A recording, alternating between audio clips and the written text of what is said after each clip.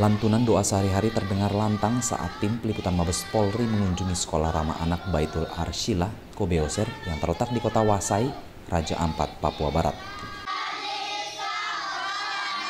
Jarak yang jauh tidak menyurutkan anak-anak untuk mendalami ilmu agama.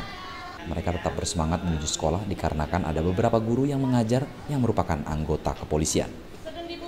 Kepala Sekolah Ramah Anak Baitul Arsyilah Kobeoser Nur Salamah mengaku, ada tiga orang polisi yang menjadi tenaga pengajar sejak AKBP Edi Setianto menjabat sebagai Kapolres Raja Ampat pada tahun 2017 lalu.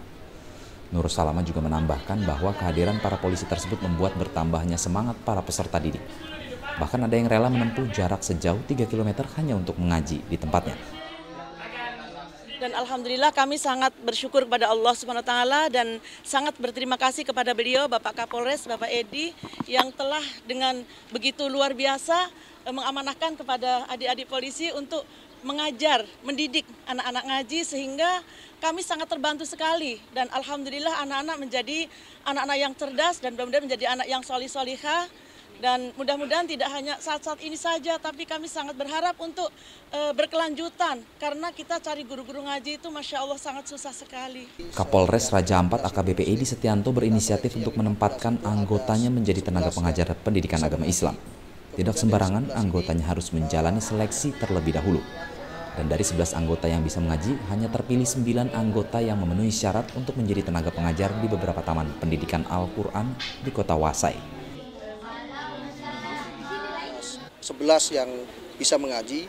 Kemudian dari 11 ini uh, saya kami cek ya kan kita kami cek mana yang benar-benar bisa mengaji.